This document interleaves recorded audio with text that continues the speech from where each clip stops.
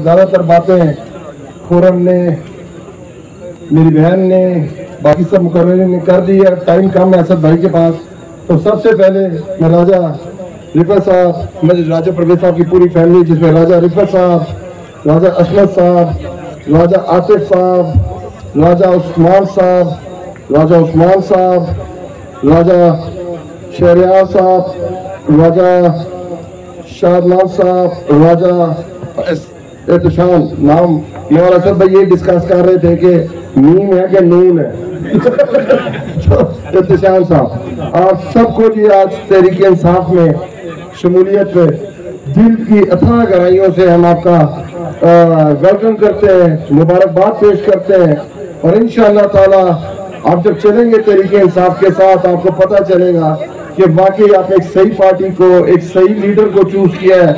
और इन ताला जो आपके हल्के की और जब अपने इलाके की बात कर रहे थे, वसत भाई आगे आपको पूरा बताएँगे कि हमने इस्लामाबाद के लिए क्या किया। और जो खुरम बता रहा था कि फुलगरा स्पेशली के लिए, जो हमने साढ़े साढ़े तीन, पौने चार साल गुजारे हैं, कि किस तरह हमने कोई लगभग पचास करोड़ रुपए के यहाँ काम कराए हैं।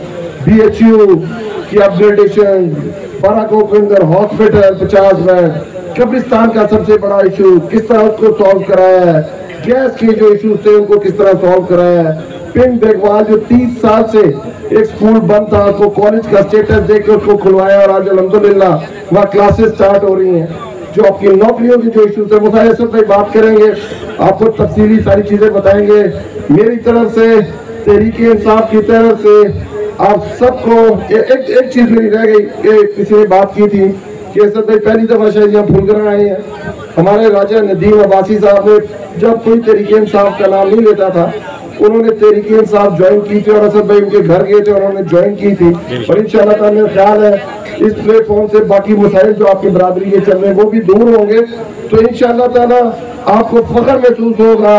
जब भी जब भी आप देखेंगे इलेक्शन होंगे लोकल गवर्नमेंट इलेक्शन होंगे, किस तरह आवाम आपके साथ खड़ी होगी, किस तरह आवाम तरीके इंसाफ के साथ खड़ी होगी, और आपको पता चलेगा जिस प्लेटफॉर्म को आपने चूज़ किया आवाम किस तरह आपको इज़्ज़त दे। बहुत बहुत शुक्रिया।